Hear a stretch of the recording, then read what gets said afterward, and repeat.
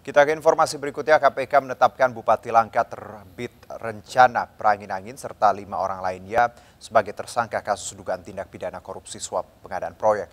Keenam tersangka tersebut kemudian langsung menjalani penahanan selama 20 hari ke depan di sejumlah tempat berbeda.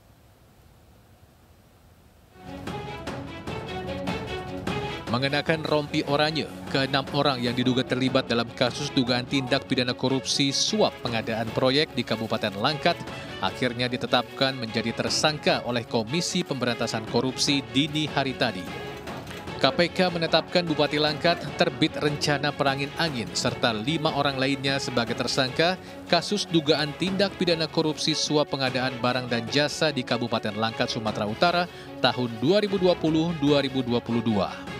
Terbit ditetapkan tersangka bersama Kepala Desa Balai Kasih atau saudara kandungnya Iskandar PA, serta empat pihak swasta, yaitu Muara Pelangin Angin, Marco Surya Abdi, Syuhada Citra, dan Isfi Syahfitra.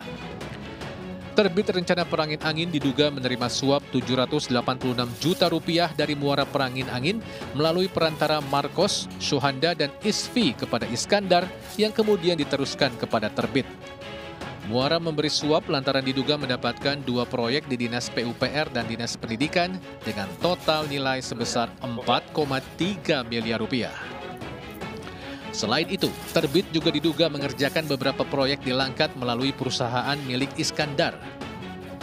Setelah pengumpulan berbagai informasi disertai bahan keterangan dilakukan terkait dugaan tindak pidana korupsi dimaksud, KPK kemudian melakukan penyelidikan dan ditemukan adanya bukti permulaan yang cukup maka KPK meningkatkan status perkara ini ke tahap penyidikan dengan mengumum, mengumumkan tersangka.